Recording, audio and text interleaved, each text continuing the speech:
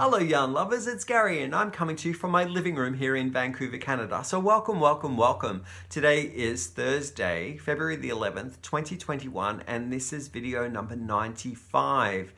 Wow, whole week has transpired and what have I been up to? Well, I'm going to catch you up on the things that I've been doing over the week. And uh, before I get going, I just want to wish anyone who is celebrating uh, the Lunar New Year this coming week or the festivities leading up to this weekend uh, a happy Lunar New Year. Gung hoi fat choi is what uh, we used to say in our household. I don't speak uh, Cantonese Chinese, but uh, I do know a few phrases that I kind of butcher along the way. Um, I'm half Chinese, so uh, my dad and us as a family used to go and celebrate Chinese New Year every year. So uh, yeah, and if uh, you are celebrating any of your Valentine's festivities, I wish everyone a happy Valentine's Day for this weekend as well on the 14th of February. Uh, yeah, so what have I got to showcase this uh, coming episode? I have a finished object. I'll touch base lightly on a work in progress that I'm crocheting up a blanket I have some Happy Mail. I have uh, some much anticipated merchandise in my Teespring store that I want to showcase and share with everyone. Yay! I have some uh, acquisitions and an update on uh, some uh, information on past order that I received uh, that I was missing an item from. So I want to touch base on that too. My hair is like going crazy. so yeah. Uh, if you are new to the channel, I've set this channel up to talk about all of my fiber adventures.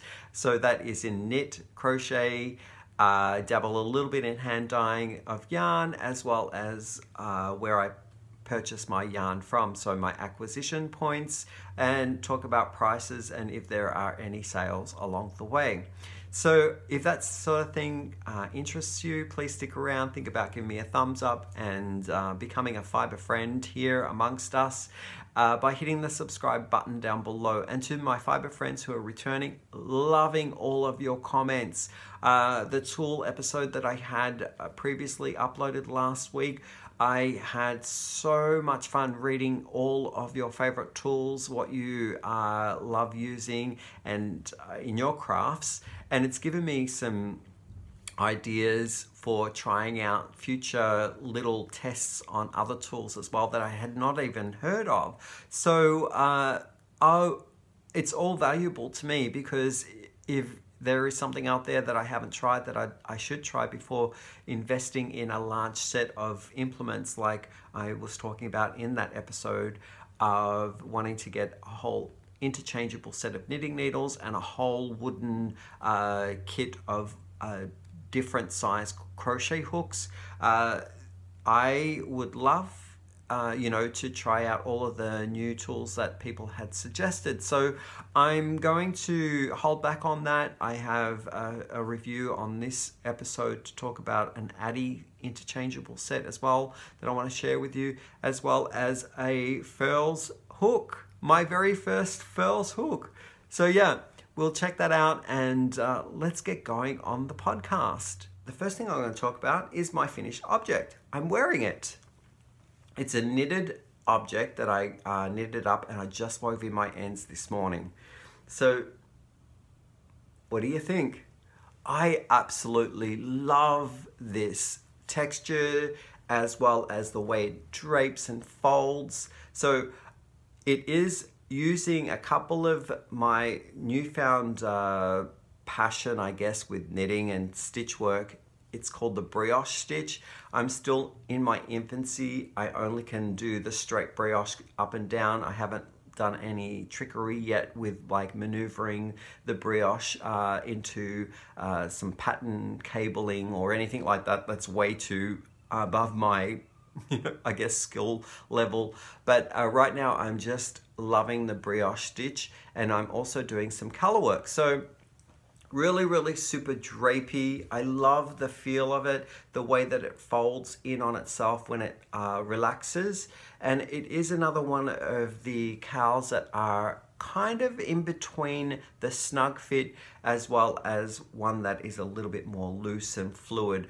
Uh, I really do like the cows that don't feel like they're strangling, uh, that have a little bit of air that breathes and circulates in them as well, which is lovely. So this is a uh, combination of two style, uh, two weights of yarn that I'm blending together and one is a sock weight yarn and the other one is a DK weight yarn even though that they say it is um, no they say it's a DK weight but it's a lighter DK weight so yeah I'll just take it off so that we can talk about the construct a little bit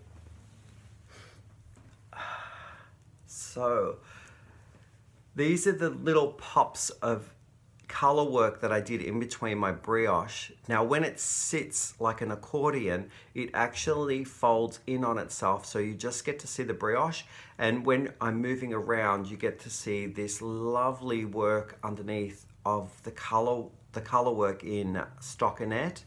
Uh, so what I did was I worked the piece from this end, which is the top end, down to the bottom and I just did some garter stitch in the beginning, then brioche, and then what they call a flea stitch with color work.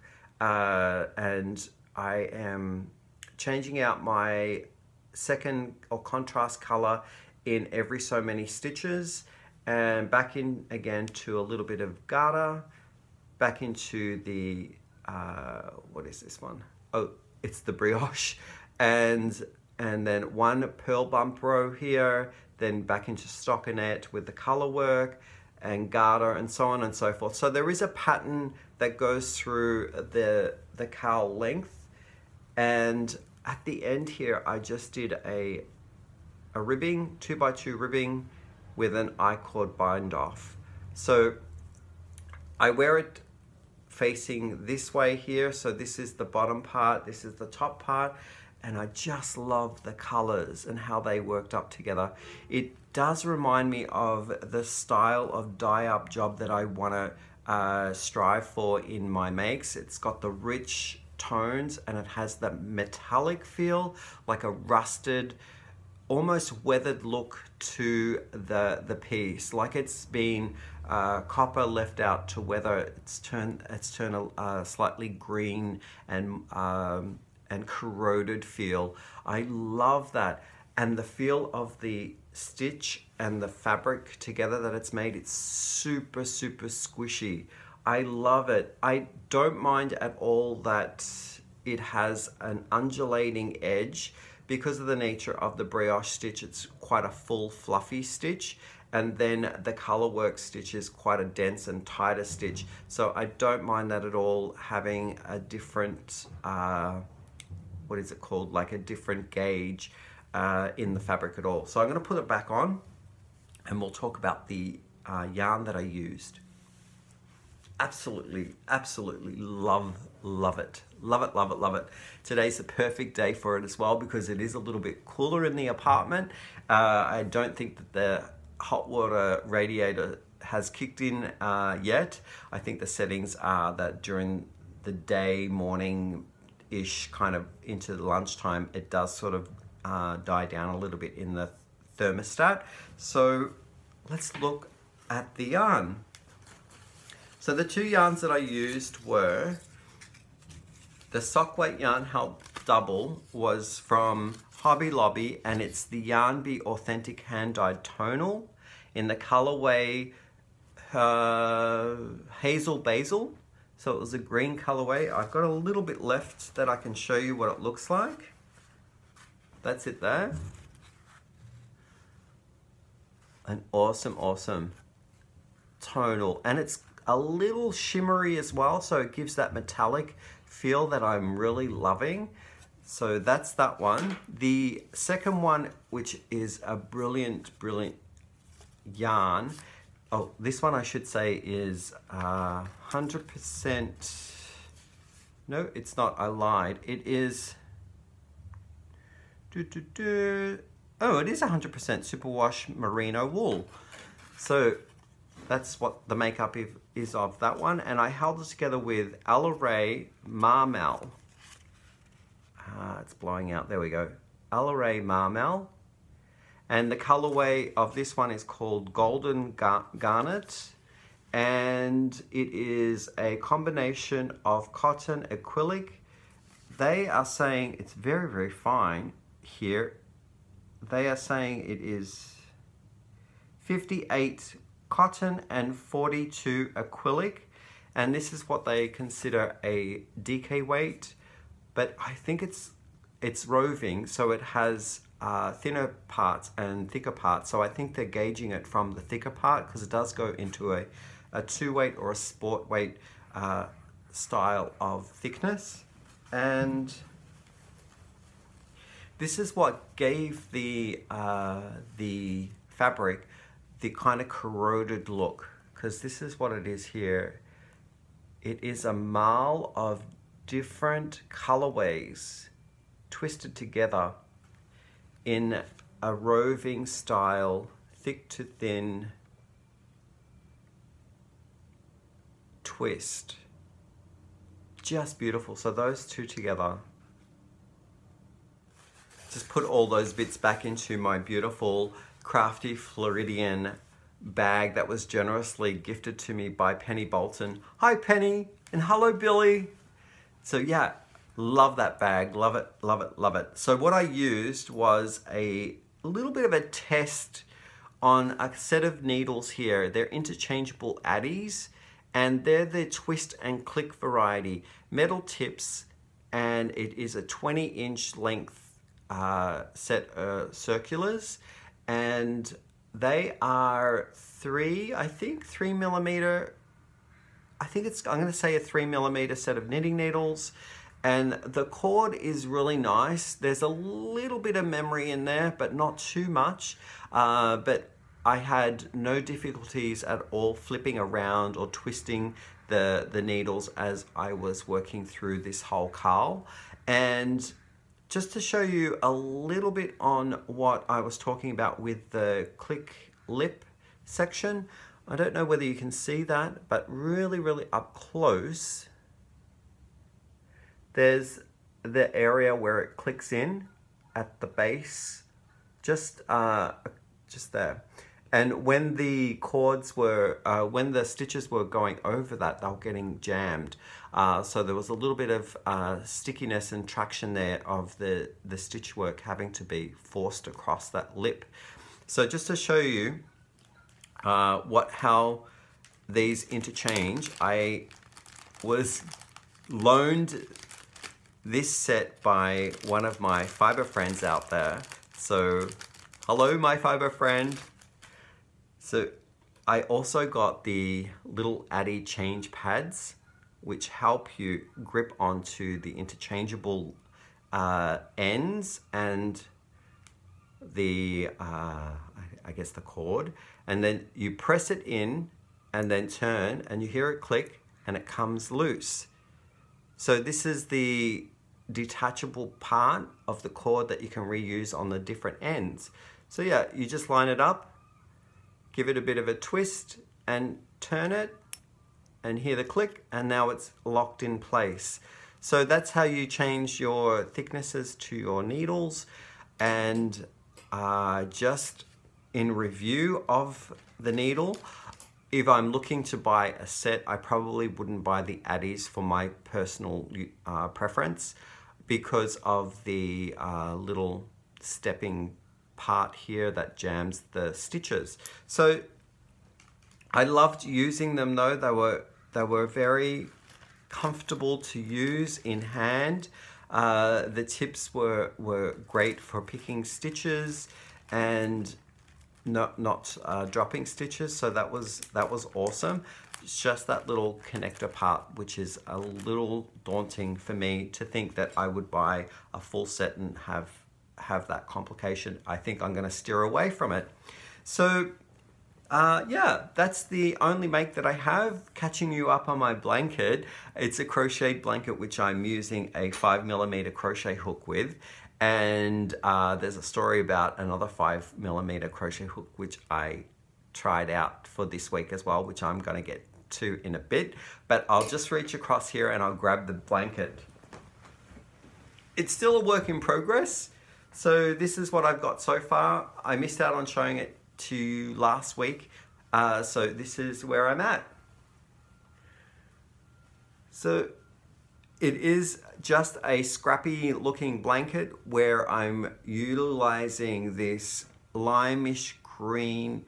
It's very chartreuse and bright yellow green throughout the whole blanket and then I'm just switching out skeins until they run out then I'm changing the skeins up so I have these base stripe colors panels that are obvious running through it so I'm almost out of the yarn that I've got in this section here so I will be changing up uh, the yarn again so there'll be another panel uh, probably around I'm gonna say eight inches of each panel will be going through because it's a 100 gram skein of, uh, of yarn that I'm using.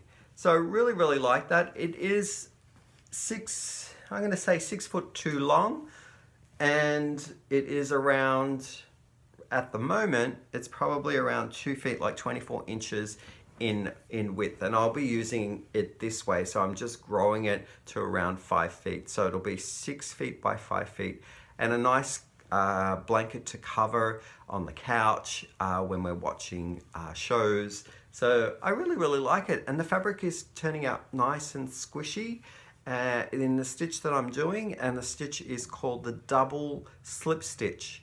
So it gives the appearance of a knitted uh, ridge, like a ribbing, knitted ribbing. And it's the same on both sides. So it's a, a, one row repeat, the, the, the technique of using the single, uh, the double slip stitch. And if I can remember, I'll put the tutorial that uh, taught me how to do the double slip stitch in the description box down below. So yeah, uh, what I'm using is four weight yarn. Everything's kind of like uh, four weight yarn in that blanket. And I'm running through yarn that's over there. I won't get it. Some is Hob Hobby Lobby. Uh, I love this yarn. Some are variegated in uh, Cozy Baby, which is a loops and threads variety of variegated yarn. And uh, the main color is a monster ball that I got from a Spinrite, uh, a Spinrite factory sale uh, that I'm busting through. It's 900 grams. So yeah, I think uh, I will probably showcase that in a little bit more of uh, future episodes when I get uh, some more on it as well. But it's coming along very, very nicely. So now I'm going to talk about merchandise from my Teespring store. And this is one of the samples that I received. I do have another three samples on their way. Funny thing about uh, the Teespring store is that my order that I made a few items in, I don't know whether it's because they house the actual physical garments or accessories in different parts of the United States, but it seems that uh, the tote bag is coming from a different place because that hasn't yet been shipped and the t-shirts are coming from another um, holding facility where they perhaps print the t-shirts because I got the t-shirt quicker. But I have a few more things coming, but this is one of them that arrived.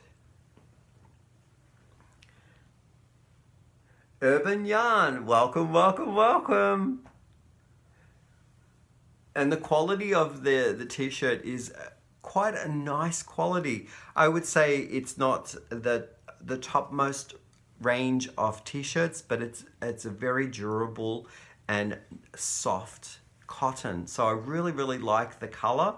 And I took your advice when I was running a few test samples, I think a couple months back before Christmas. Uh, I had a go at using Teespring just to see how long it took to ship and the quality of the work. And it was really, really well received. And uh, there were a couple advice uh, that everyone was, you know, offering. And I love I love those. So I came up with just the design that has the logo on top of the t-shirt with a little bit of a saying. The other design that you'll see in the Teespring store is uh, Yarn Lovers, which is Hello Yarn Lovers, which is another thing I say. And that one has a little bit more graphics on it. So if you're wanting something that's just, um, I guess, simple and the logo, there's this variety here, but then there's also one that has a little bit more of a graphic element on it as well. So I will link the Teespring store down below in the description box if you want to go and take a gander. And I'm thinking about uh, adding in new stuff maybe every six months. Uh, I have a couple of other t-shirts on the go right now, which I'm really, really thrilled about. And they may appear on bags as well and other things that Teespring offers in their store. So, take, uh, you know, take a look back every once in a while. You might see some new things. I'll showcase the other stuff as it comes in as well uh, so that you can see what type of uh, results come up with the Teespring purchases that I make. So now on to Happy Mail.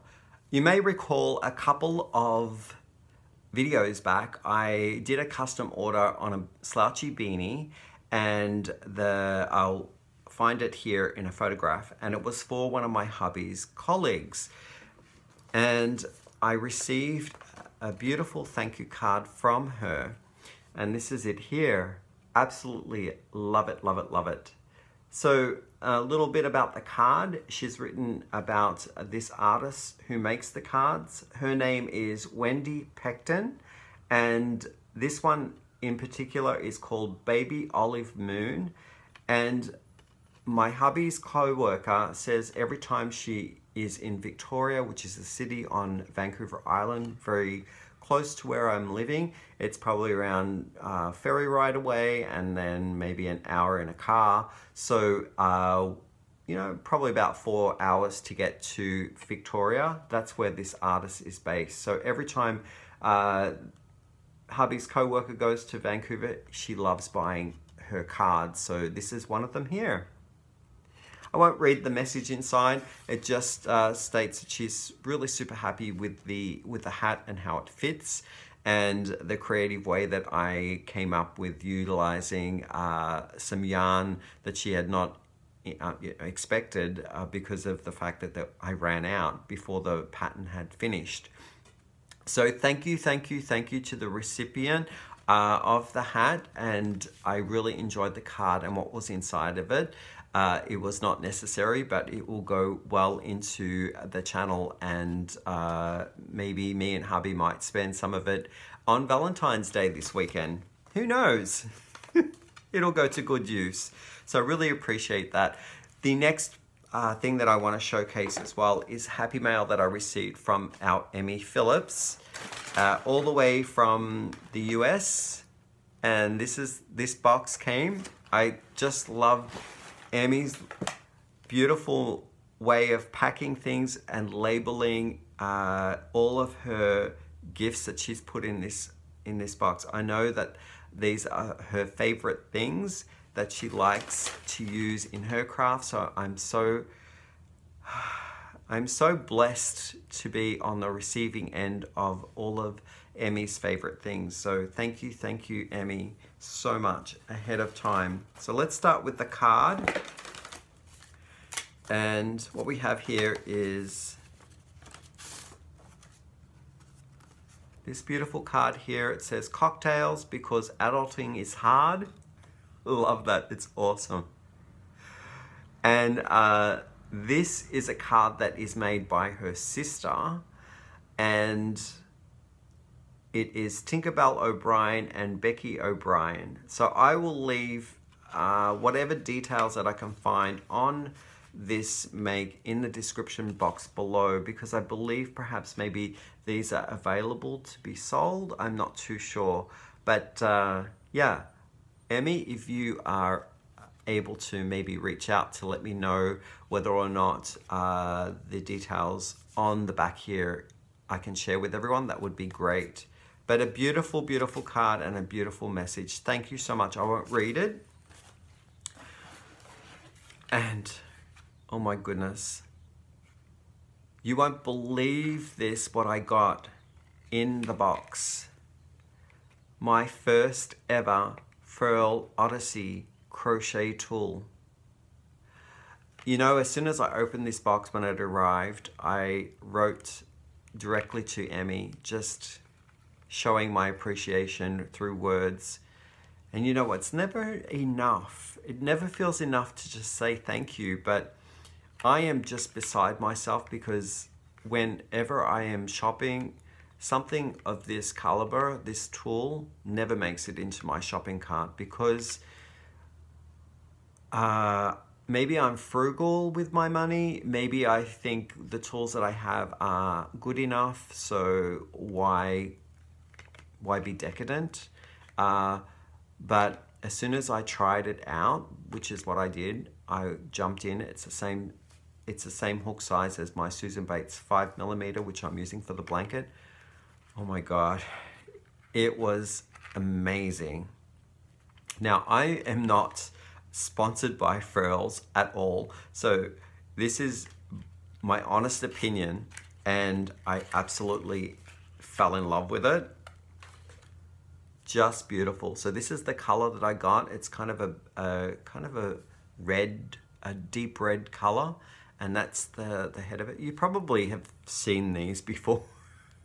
I don't know why I'm showing it to you like, oh my God, it's so brand new, but it's been around the uh, the block a few times. It's just never reached my hands and it's all I've always avoided putting it in the shopping cart when I've gone shopping but this uh, was a dream and what I liked about it too was to help my tension a little bit the shaft area here because I do kind of like glide in to stitches uh, overzealously, I guess. It's not like a little poke and then do my thing and then come out. I'm kind of like in there and going crazy. So I find that uh, that part of the the neck of the of the tool helps to widen up the the loops that I'm or the stitch work that I'm making. So it makes it more of a relaxed uh, a, a relaxed kind of like fabric. So I, I really enjoy it and I'm going to enjoy many more hours in studying and also utilizing it. Uh, so first-hand use on my blanket and uh, it's kind of like a three, four weight yarn that I'm using. Uh, it's, it's working up really, really nice for me. Uh, so yeah. The other thing that I got was also a handcrafted wooden crochet tool and I will link down below the details on where this uh, can be uh, found. I believe it was a crafter who who makes uh, crochet hooks to sell, uh, but if that's not the case, then I won't leave anything down below uh, in the description box. It might just be a hobbyist that's doing it. I'm not too sure, but it, it's like you kind of feel your way around to see where your hand suits the, the grip.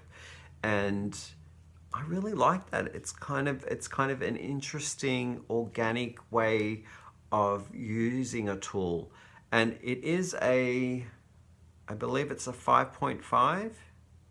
Yeah, 5.5 or an I hook.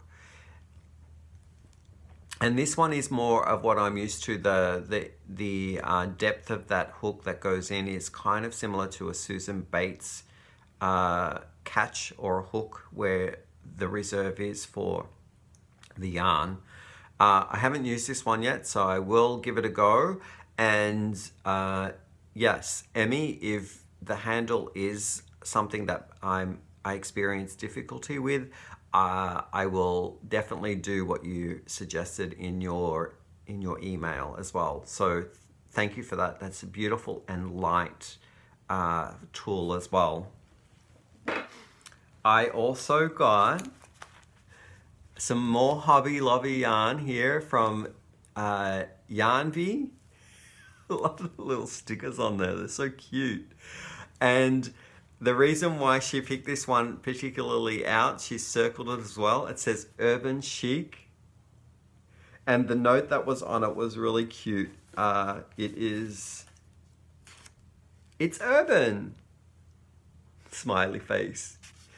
And this, a uh, little bit about the yarn. It is 100% acrylic and uh, the colorway is called doo, doo, doo, Golden Grace and it sorry it is 75 acrylic and 22 cotton. I do lie. Uh, they're suggesting a 4.5 millimeter set of knitting needles or a 5 millimeter crochet hook uh, for a suggestion on tools to use. And what else can i tell you about this? Uh, 100 grams and in that you get 275 yards or 252 meters very very super soft I believe I have some Urban Chic as well in my stash uh, that was gifted to me and it's in a different colorway. It might be the same. It kind of looks the same. I think the one that I have has more of a yellow than a than the green here, yellow green. But I love these colors. You know my colors, green, awesome. So here's a card from that uh, Emme has uh, sort of like explaining a little bit of who she is. I believe that is her uh, dash of disdain is maybe her her Instagram name. Favorite stitch markers are on the back. I like that one. It's a lucky penny. It's a penny with lucky uh, stamped in it. It's amazing. And Oh, she says here, oh, look, uh, I have an official logo for a project bag. Ah, lucky penny, I guess. That's awesome. I also have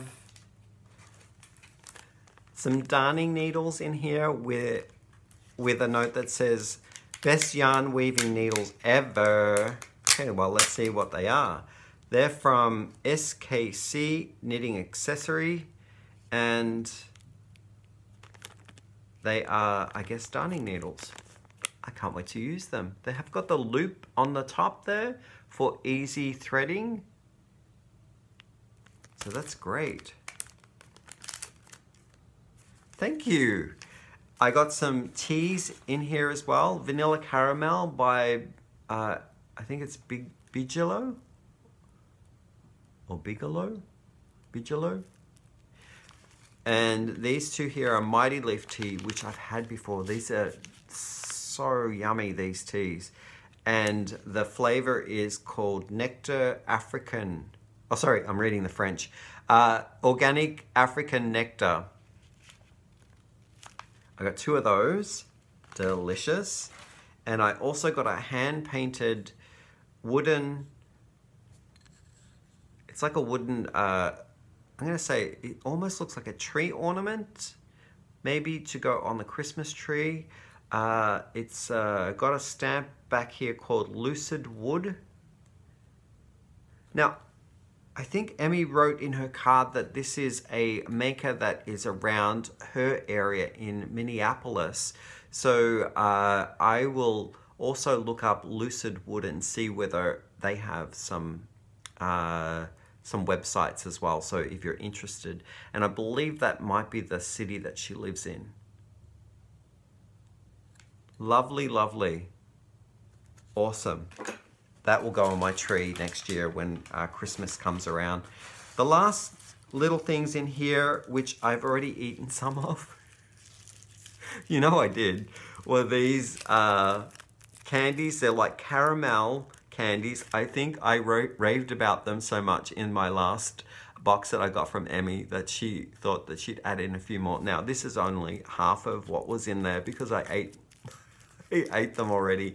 But they're like toffees, uh, little chewy, hard, and then once you sort of get through the hardness in the centers, there is a little bit of um, a whipped sugary delight there. So love, love them a lot. So that's all of the wonderful gifts that I got that are some of Emme's favorite things. So thank you, thank you for those. Love them. Love the hook, how it worked up.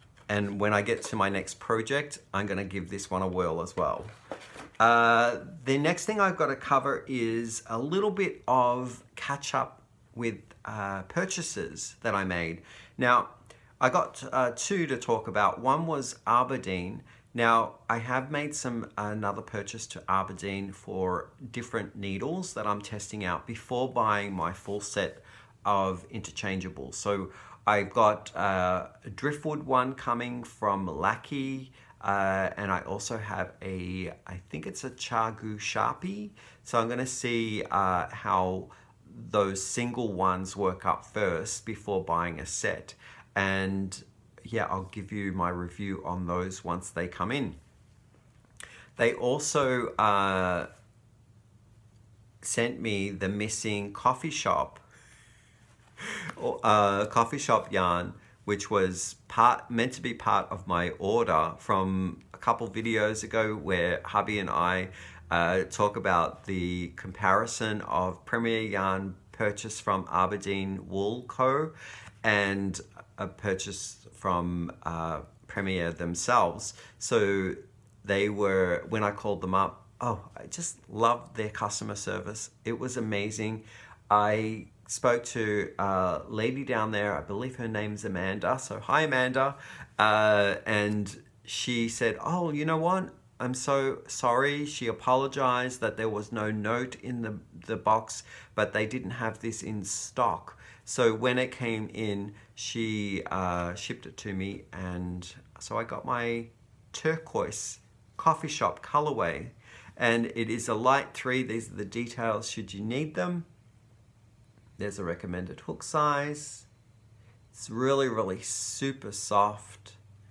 Uh, it did say it was called turquoise, the colorway, and in each of the the cakes you get 284 yards or 260 meters and it is 100 grams 15% wool and 85% acrylic so with that I think I covered everything that I wanted to talk about in this particular episode. I hope you enjoyed it. If you did give me a thumbs up.